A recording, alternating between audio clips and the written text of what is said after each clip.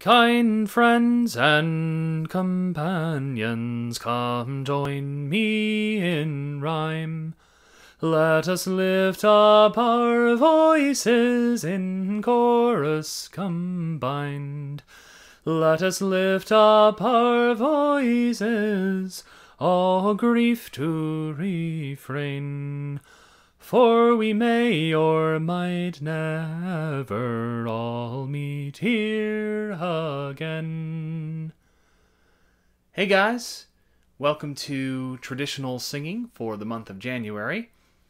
Uh, a very happy new year to all of you guys. Thanks for sticking with me in the new year. I hope that you enjoyed the videos from December. Um, so, in the month of January, I wanted to cover a song. You just heard me sing a little snippet of it. It's called Here's a Health to the Company. Sometimes it's actually also called The Parting Glass. Um, but it's it's not the same as the more famous song that goes by that title, which we will certainly get to on another day. And oh, but the song we're doing today uh, sometimes also goes by its first line, "Kind friends and companions." Right? Kind friends and companions. Um, where did I get this song? Well, this song is kind of ubiquitous. It's sort of the unofficial anthem of uh, Renaissance fairs and uh, other late night um, sort of ale drinking occasions. So great, uh, a great song for so many different uh, occasions. I've heard it at sessions, at parties. Um, you know, it's New Year's Eve. It's a great song for so many occasions. I mean, it, it, it would be easier to list the people that haven't done this song because it's just such a, a great classic. But um, I'd say if you want to start somewhere, check out the Chieftains. They've got a great uh, sing alongable recording if you don't already know the song. Anyway, so here's a health to the company. Kind friends and companions, come join me in rhyme. Let us lift up our voices in chorus combined. Let us lift up our voices, all grief to refrain. For we may or might never all meet here again. All right, so I tried not to add too many bells and whistles, so you can just get the um, the main, the main gist of it. Oh, what do you know? I guessed what key I was in. So I'm in C sharp minor. Um, the song is not in any particular key. Don't worry about that. This is just a key that I felt was comfortable, and I thought the ladies would be able to sing up an octave. Kind friends and companions, come join me in rhyme. That puts your highest note out of C sharp, for those of you who are interested. It's not too bad. So, anyway, um, let's go over the words one more time. Kind friends and companions, come join me in rhyme. Pretty logical opening line, right? Let us lift up our voices in chorus combined. It's just beautiful stuff. Um, it, I, I love when they have noun adjective, you know, chorus combined. You know, instead of combined chorus, as we boring uh, modern folk would say. In chorus combined. I've also heard, by the way, there's a lot of versions of this song. So you might also hear people say, um, come lift up your voices. Um, no.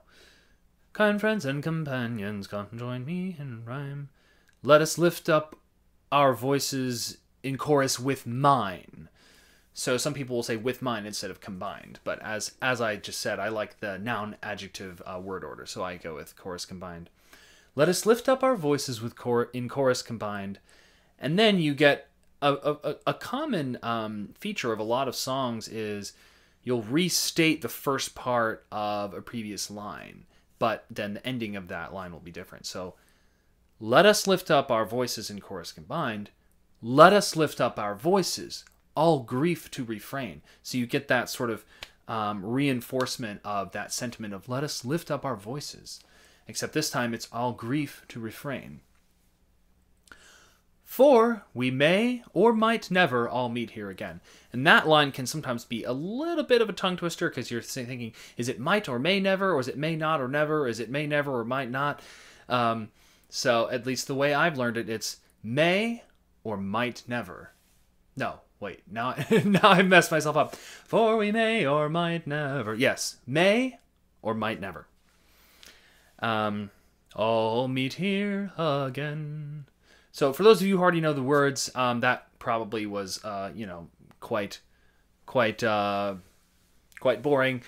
But sometimes uh, you'd be surprised. You might actually forget the words that you, you know, you you you're pretty sure you know them, and then you'll forget them in a tight spot. So having kind of like a fun little narrative in your head of the song um, will help you remember it. Um, so, kind friends and companions, come join me in rhyme. Let us lift up our voices in chorus combined. Let us lift up our voices, all grief to refrain, for we may or might never all meet here again. Um, and by the way, uh, what I just did is actually something that I practice on all of my songs. I um, practice reciting the song as if it were simply a poem. What does that do? Proves to your you get to prove to yourself that you know the words of the song independent of the the melodic connotation. So a lot of times we you know, when you're singing along to the radio, you kind of know the words because the musical cues in the song they they trigger your uh, sort of brain's muscle memory, if you will, to sort of sing these particular syllables, even if you're not even remotely thinking about the story that the song's telling. So that's not what we want for traditional singing because um, we're not singing along to a CD or a karaoke track or a radio. You're telling a story every time you sing. And a lot of times you're going to be singing solo. Uh, you might be singing with other people, but in which case it, it'll be a little easier. But the goal is to be able to sing these pieces solo. Um, and so you want to be have have the story sort of in your head independently of the melody although we, of course, marry them together. So, anyway, kind friends and companions, come join me in rhyme, etc., etc. Uh, and I do that for all of my songs, uh, even the very long ballads. And so, another thing it does so I just talked about um, the memory aspect, making sure you have those words down. The other thing it does is it teaches you about the meter of the piece uh, and the word stress and where that needs to go. So, for instance, let's take a look at this. Um, Here's a health to the wee lass that I love so well. In her style and her beauty, there's none her can excel. There's a smile on her countenance as she sits on my knee. There is no man in this wide world as happy as me. So let's take a look at the meter there. Here's a health to the wee lass that I love so well. In her style and her beauty, there's none can excel. There's a smile on her countenance as she sits on my knee there's no man in this wide world as happy as me.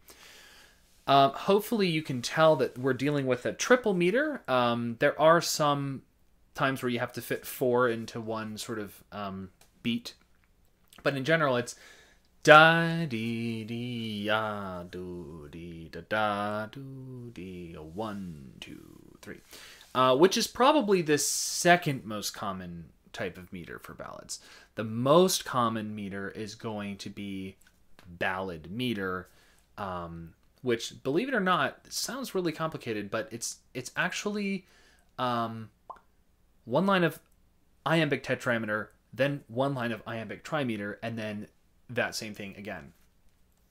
Um, that sounds really complicated, but all it is, iambic means da da, short long, and then the tetra in the tetrameter means four, and the tri means three. So iambic tetrameter just means four da-das, and then iambic trimeter just means three da-das. So uh, if it's iambic tetrameter followed by iambic trimeter, it's just da da da da da da da da da da da da da da, right? Um, and so that's uh, think for that for ballad meter, think of Amazing Grace.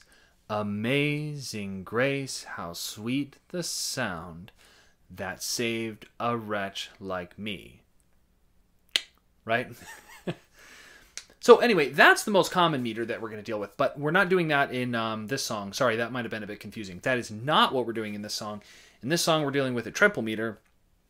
Um, what would it be? It would be uh, kind of a technically it would be a dactylic tetrameter for you uh, poetry nerds. Um, like dun dun dun dun dun. Well, it's it's offset though. That's the confusing thing. It doesn't start on the stress, so it's got a pickup kind friends and instead of friends and it doesn't start on the downbeat.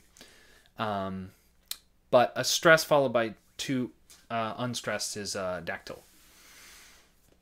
So anyway, uh, examining the meter is going to help you with your word stress and also where to place your ornaments. This is very important. Um, I used to just kind of put ornaments all over the place, and, and sometimes it didn't sound that great.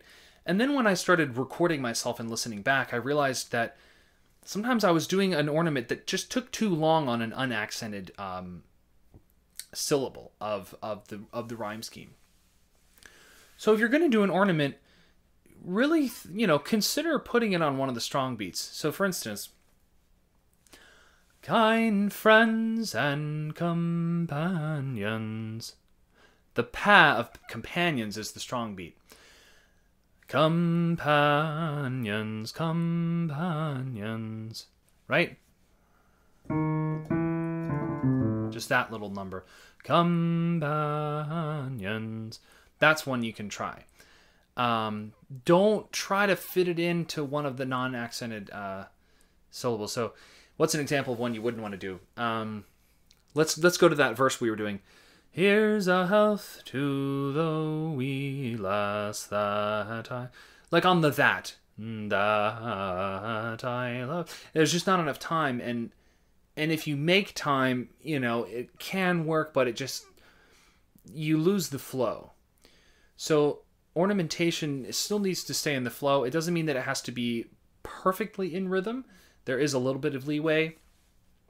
But um, what you don't want to do is set someone up in rhythm, the listener, perfectly in rhythm, and then stall to do an ornament. So here's an example of what not to do.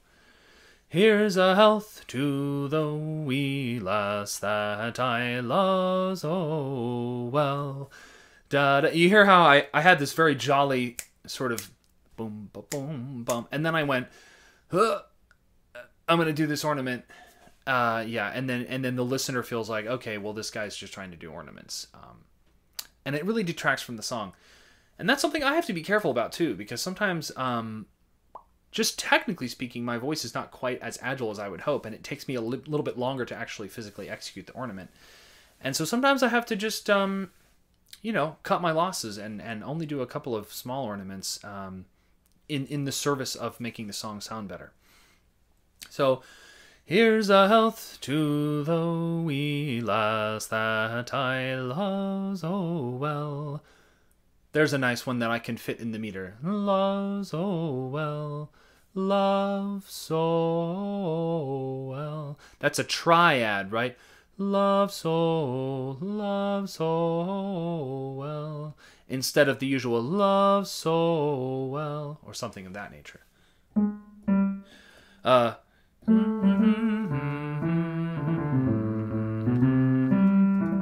sounds like that on the piano. That I love so well. That's one that you can fit into the meter pretty easily. Um, saying the words as a poem that is without the melody is going to help you memorize the words and really uh, sort of internalize the story or whatever this whatever the song is trying to convey. It's also going to help you with knowing how to accent the words of the song and where to place your ornaments. And then third thing is if you ever want to set the words to a different tune, it is going to help you a lot in that regard. So if you kind of have an idea of which tunes fit which meters. Then, if you want to try doing a new setting, you'll be in luck. So, let me give you an example of how to use that word stress that we talked about. Here's a health to the wee lass that I love so well. In her style and her beauty, there's none her can excel. There's a smile on her countenance as she sits on my knee.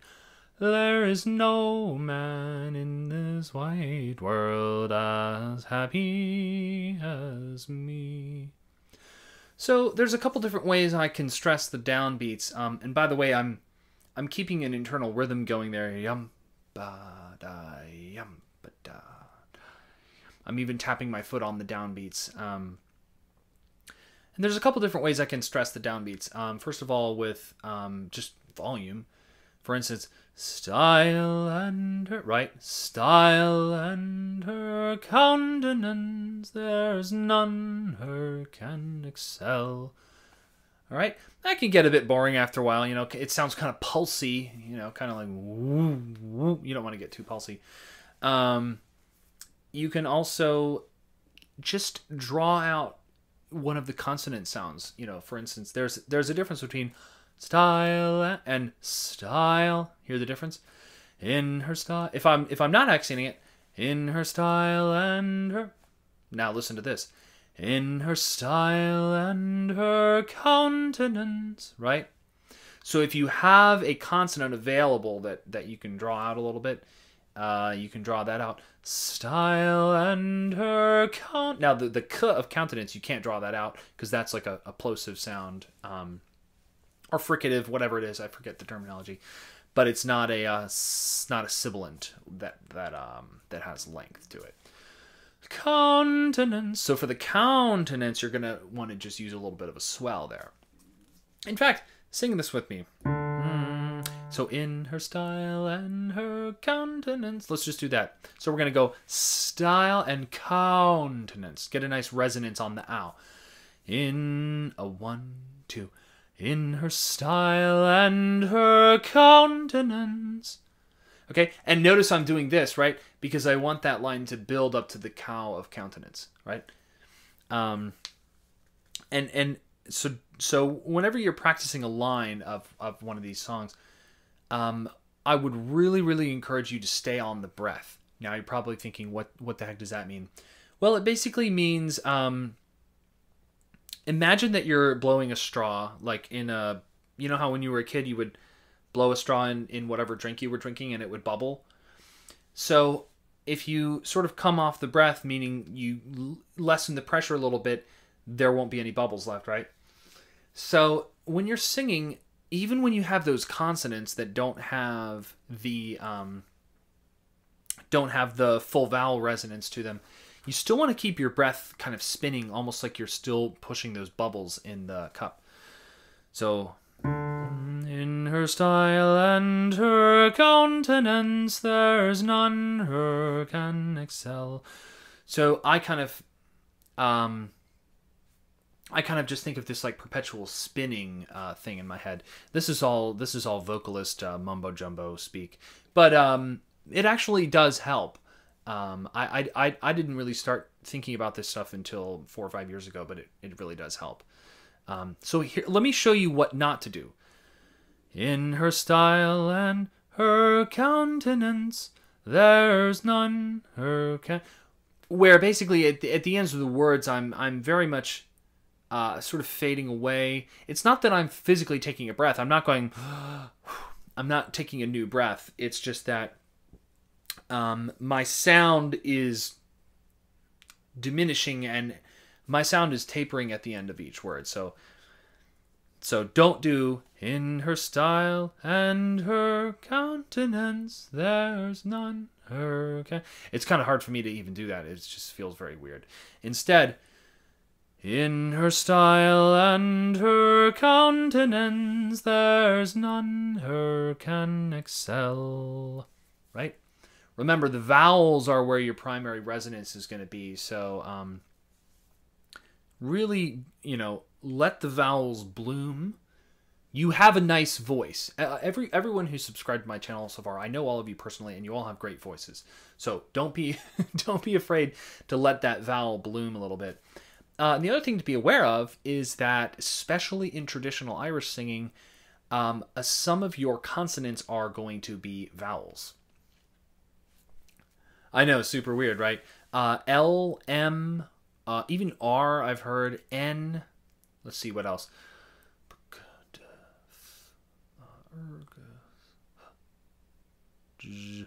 If you had like a Z or a sh, uh, um, but anyway, there's these um, these consonants that can actually hold pitch, right? So mm, anything you can hum.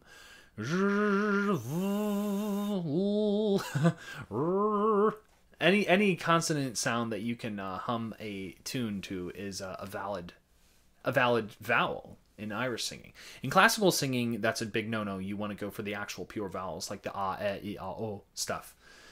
But uh, in Irish singing, it's fair game. So in her style and her. There's the er, right? Her countenance. The n, right?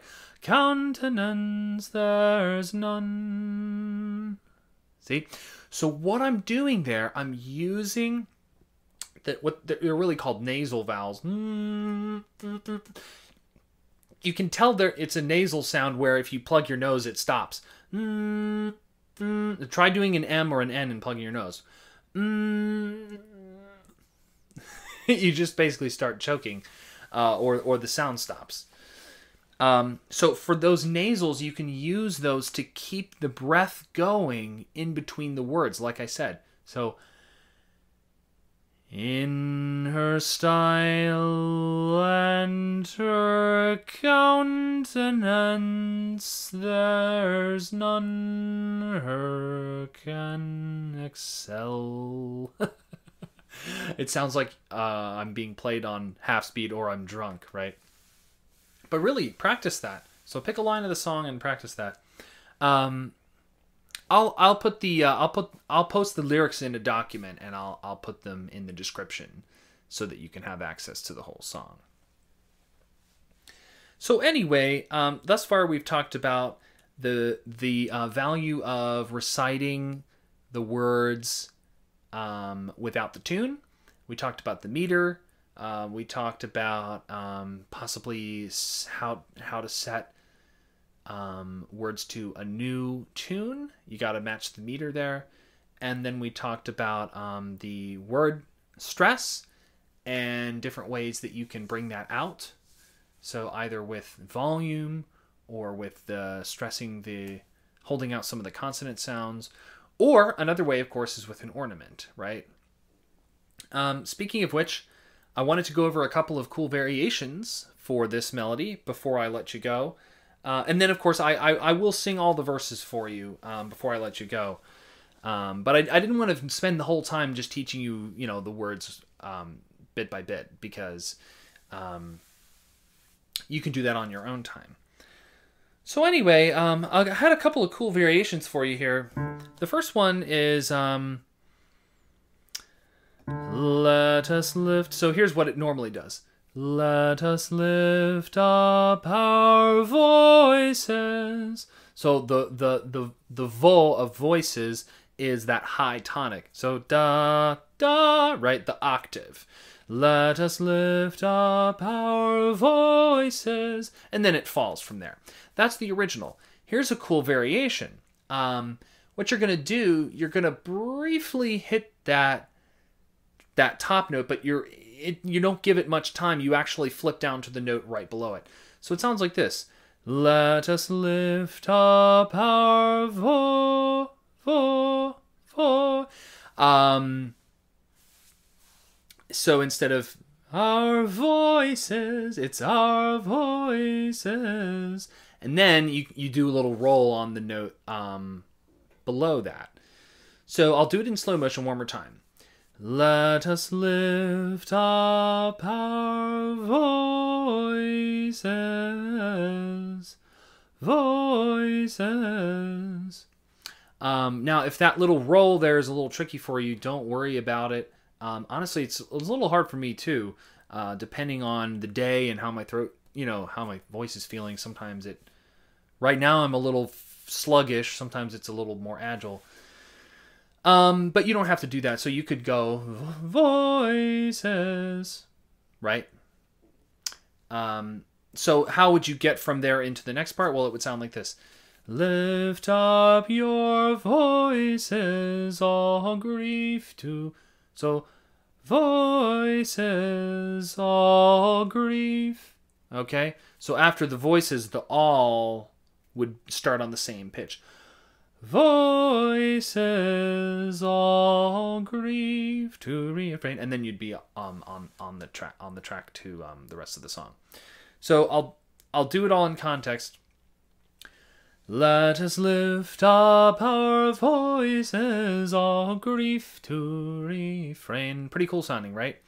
It kind of um, it it sort of delays the the um, thrill of reaching the high note.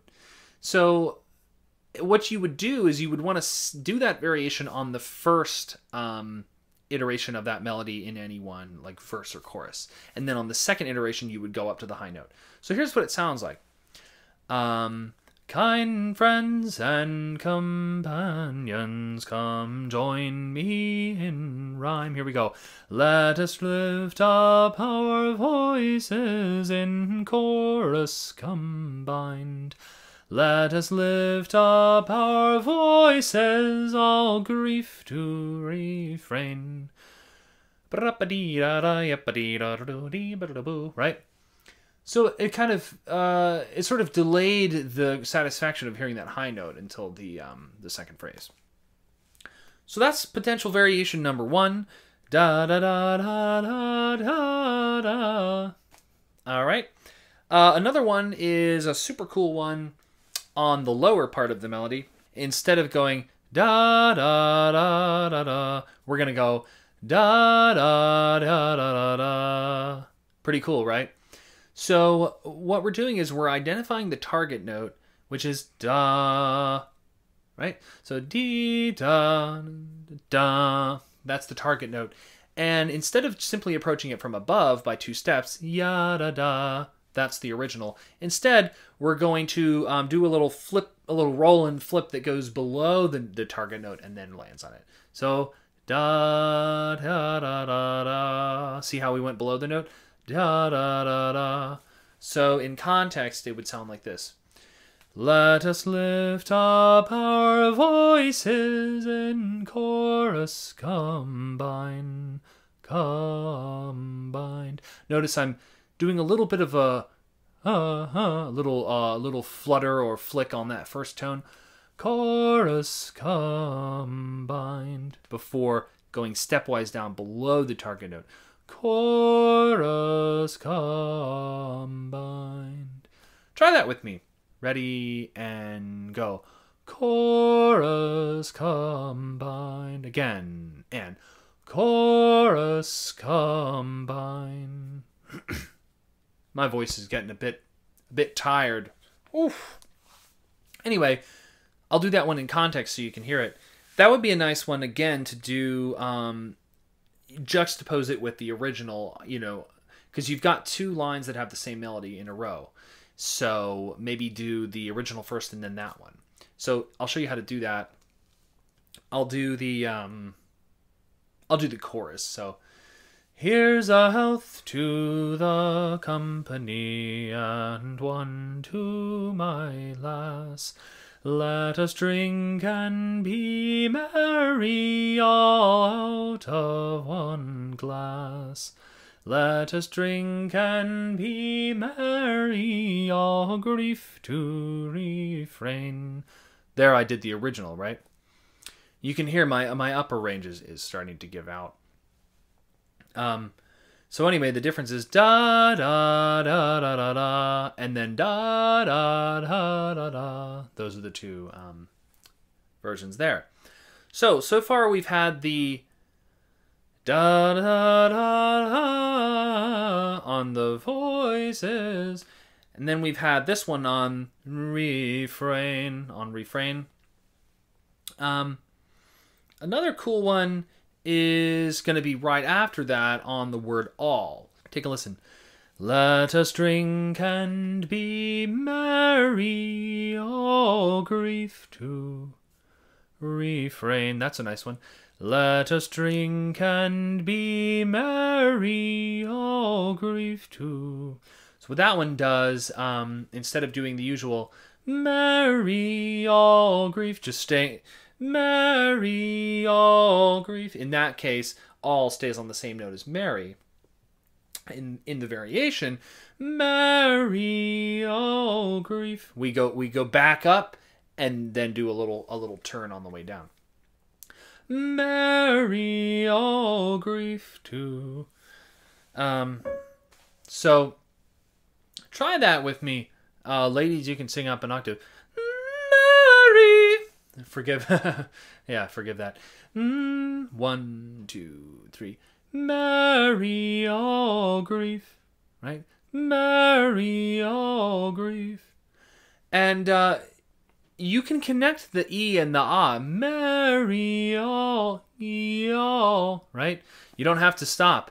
Merry all grief. You, you can stop if you want to get a nice punch on the all. Merry all grief too. But I find it easier to just, just go right through.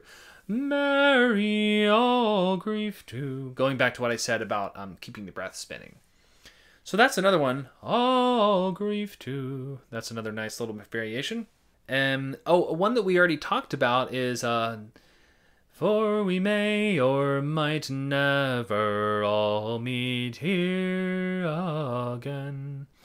Um, that one sounds kind of hard, but I bet you if you try it, you'll be able to get it. Um, and so I ended up in C sharp minor again. So, for we may or might never all meet here again. A good thing to keep in mind when you're trying to do these variations and ornaments is that don't don't stress too much about it and the more you actually sing through it, uh, the better it's going to turn out and it's it's hard to describe what I mean by that, but basically, um, sort of think of them as moving notes, notes moving towards a goal. They're not there for their own sake. They are they are um, serving a purpose. They're going somewhere. So don't linger too long. Um, don't don't fret too much about those those quick moving notes. Um, you'd be surprised how agile your voice is if you just let it. Basically, is what I'm saying. So um,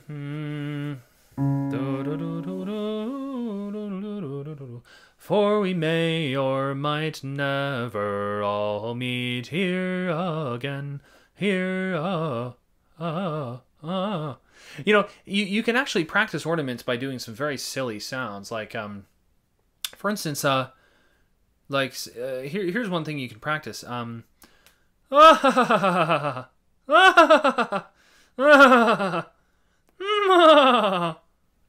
right? Sounds ridiculous, but it's just a laugh. It's a laughing sound. But what you're doing is you're getting those very quick iterations of different notes. Right?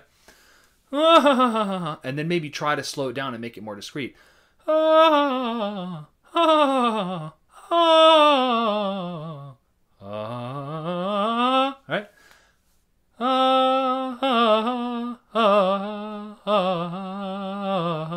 and then eventually now i'm not even very good at that but that's a coloratura kind of technique from classical singing but eventually once you can actually get those iterations to be a little bit more clean then you just take away the ha ha the actual breath the actual ha sound until you have and,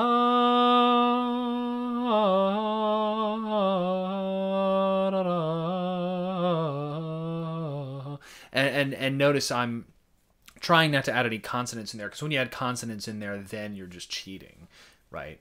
Because um, anyone can go da da da da. That's not hard, but ah, ah, ah, that's a lot lot harder with no consonants to um, delineate the notes.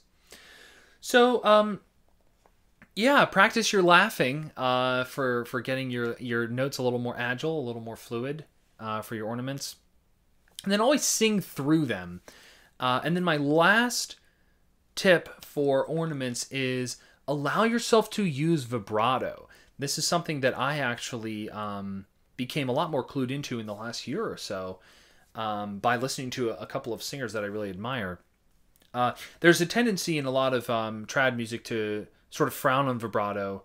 Um, I, I'm not exactly sure why. It's very weird, but I guess no vibrato seems further from classical performance and therefore more quote legitimate which is that's that's really kind of a false construct you, you can pretty much completely ignore that as far as i'm concerned vibrato is totally fine it's a healthy way of singing um, and you'll you'll be surprised how much it'll actually free up your voice and make it a little more agile.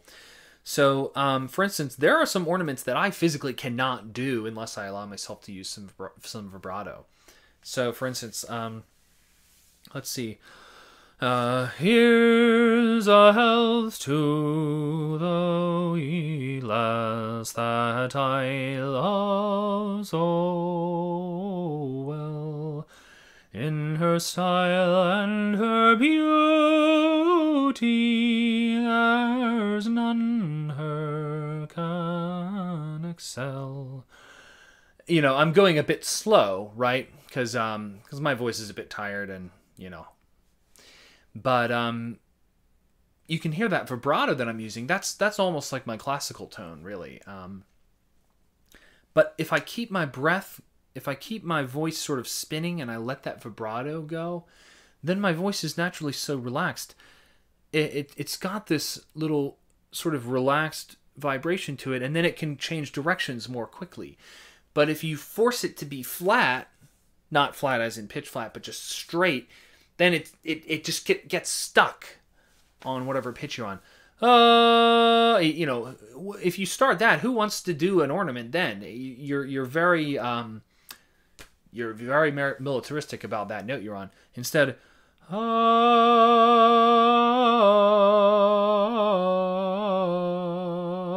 you know, you have a little bit more agility there. So I I, I encourage you um, pick a note like I just did. Ah, and practice those little fluctuations, those, or, you know, just in a scale, right? Okay, so those are my tips for ornaments. Um, sing through, you know, sing through to the target note. Don't don't wait on those little notes.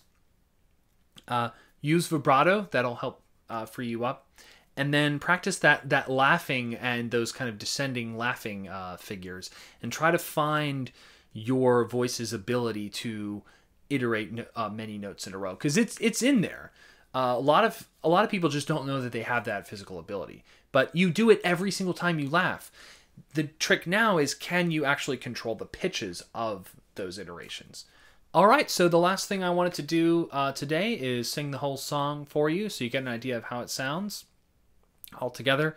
Uh, listen for the word stress, uh, the accents, the uh, some of the variations that I'm going to put in there, and the ornamentation, um, as well as especially listen to the way that I um, create a continuous line um, by utilizing those nasal um, consonants and trying to keep some kind of resonance and and trying to keep sort of that spinning throughout the whole line. And I will say one more thing. Occasionally I will stop that resonance on purpose to accent a particular word. Take a listen to that. Here we go. Kind friends and companions, come join me in rhyme. Let us lift up our voices in chorus combined. Let us lift up our voices, all grief to refrain. For we may or might never all meet here again. So here's a health to the company, and one to my lass. Let us drink and be merry all out of one glass. Let us drink and be merry, all grief to refrain. For we may or might never all meet here again. And here's a health to the wee lass that I love so well. In her style and her beauty, there's none her can excel. There's a smile on her countenance as she sits on my knee. There is no man in this wide world as happy as me. So here's a health to the company, and one to my lass. Let us drink and be merry, all out of one glass. Let us drink and be merry, all grief to refrain. For we may or might never all meet here again. Our ship lies at anchor, she is ready to dock. We wish her safe landing without any shock.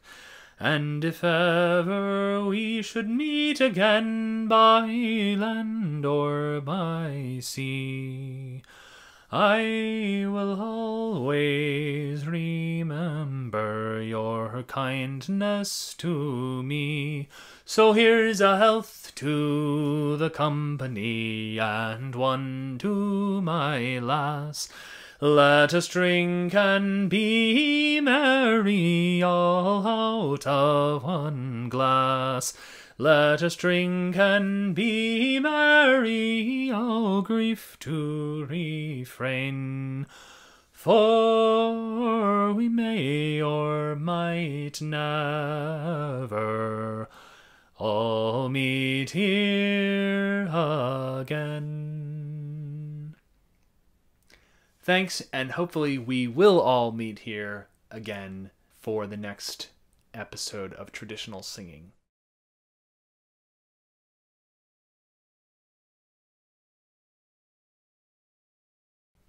If you really try to think of of every single note that you're doing sort of if you've